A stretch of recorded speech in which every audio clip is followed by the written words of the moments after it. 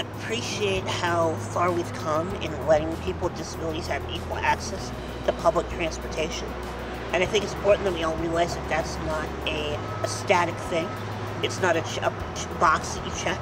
It's an ongoing evolution of services. And I really appreciate that DART has committed to con- continuing to think of new and equitable ways of providing transportation to people who may not be able to access it otherwise. And for me, as a person with a disability, without a paratransit system that kind of curb to curb service for people with disabilities, I wouldn't be able to work.